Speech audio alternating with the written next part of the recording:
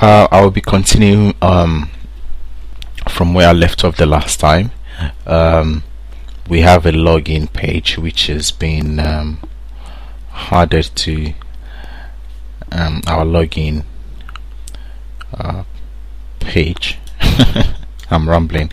Anyway, so um, for for us to enable user to register themselves without us going to the backend to remember the backend of this, which is ASP.NET uh, configuration. Uh, can you see we have one user, and um, uh, let's view the user. We have the user, the one that we create. Uh, I'm going to explain the roles and the access rules in the future but uh, we can manage the user we have which is the username we can delete sorry we can edit delete or edit the roles or we can create simply create a new user.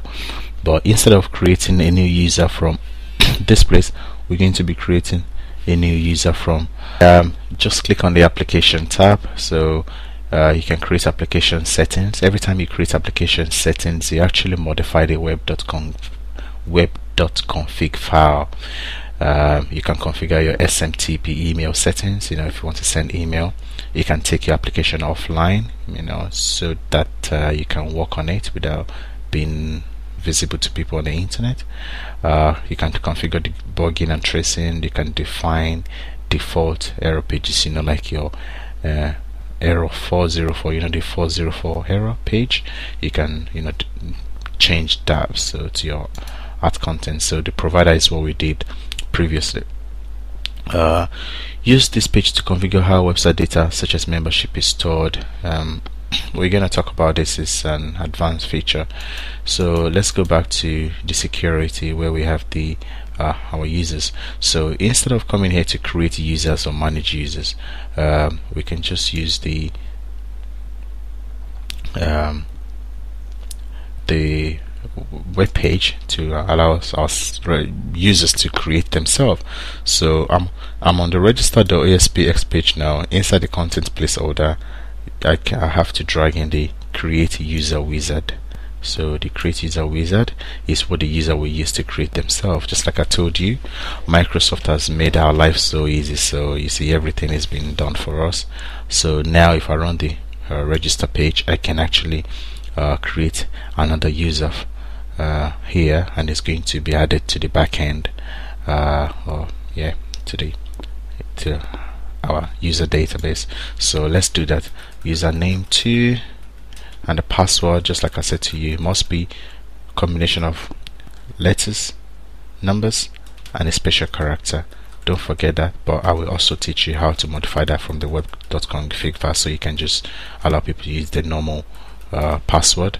And you can also check uh, the uh, uh, email email to uh, you can also modify the characters that you require. Maybe you require only 10 characters for the uh, password or just 5 will do or maybe 3 will do you know it's up to you. So it's a correct question.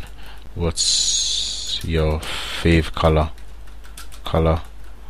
And the answer is blue I don't really know what my favorite color is anyway. So let's create this user. You see uh, it's complete. Your account has been created. Now I did not uh, modify the continue button. You see this continue button is up to you to decide where you want users to be directed to as soon as they create themselves. Usually it makes sense to direct them to the login page isn't it? When they register you create the account then you say continue to login. So let's do that now.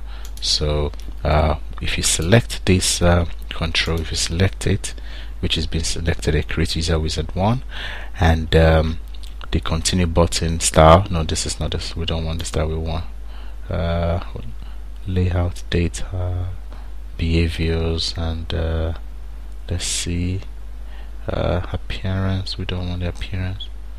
Uh, okay the behaviors. Continue destination page URL can you see that it's self-explanatory isn't it? Destination page URL will be login.aspx right? So that's why I think it's ideal. So okay. So now let's try that again. Let's so that we so that we make sure that it works.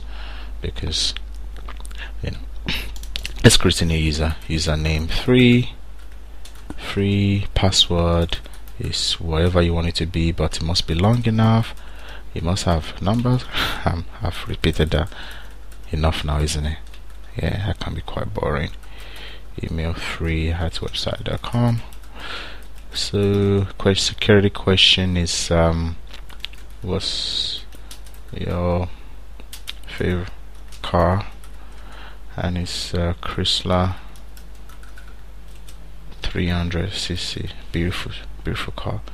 Let's create user. It's created continue you see now it takes us to the log page. So now let's use that to log in. Username 3 and password is this which I don't want to tell you. Login remember yes.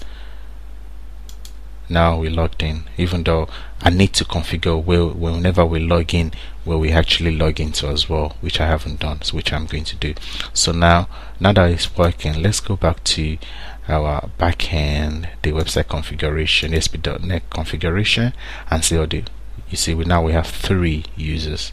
Because it's been added to this. So let's see manage users. We can see all our users. Username 1 username 2 username 3 we can delete and can edit their roles. So that's beautiful isn't it how long does it take to create this kind of website? You can create a full-blown membership website with database with in one day. Because all this video I'm doing is I've only spent one day on them so I'm sure you get a point. Anyway so I'm gonna be back to go further on this. Thank you